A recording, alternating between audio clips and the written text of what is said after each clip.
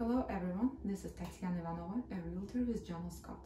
We are in the middle of the tax season, meaning that your real property tax payment is coming too.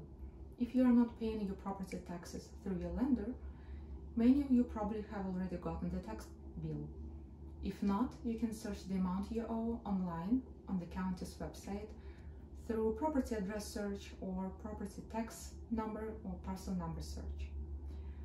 So, how are the property taxes calculated? They are calculated by multiplying the effective property tax rate by the estimated value of your property. Effective property tax rate is different in different cities within the same county. So, are you seeing an increase in your property taxes?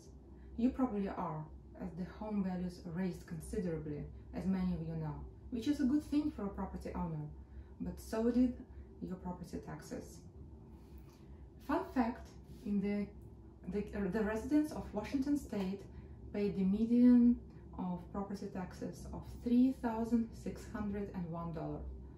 King County homeowners paid the median of $4,611, which is a whole thousand more as property in King County are of much higher value. Just um, the median is the middle number which means half of the property taxes paid are above that number and half are below. And depending where you are in King County, this number can go much and much higher.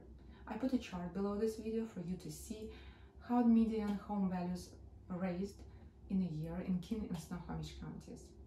So the assessed value of your home is calculated by a tax assessor for tax purposes only, and it might not represent what your home is really worth.